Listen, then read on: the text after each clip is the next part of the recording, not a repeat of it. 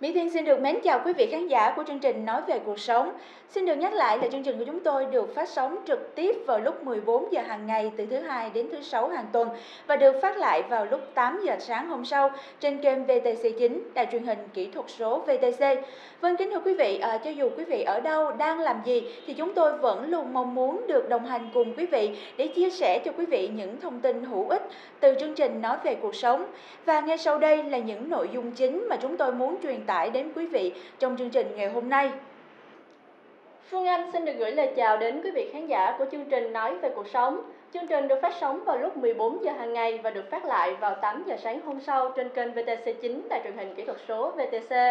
Và cho dù là quý vị đang ở đâu làm gì, thì chúng tôi vẫn luôn muốn đồng hành cùng quý vị để đưa đến những thông tin bổ ích và thiết thực trong chương trình Nói về cuộc sống. Và ngay sau đây là sẽ là những tin chính mà chúng tôi muốn truyền tải đến quý vị trong chương trình ngày hôm nay.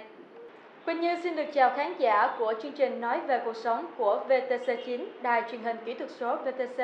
Và chương trình của chúng tôi được phát sóng vào lúc 14 giờ hàng ngày và phát lại vào 8 giờ sáng ngày hôm sau trên kênh VTC9, đài truyền hình kỹ thuật số VTC.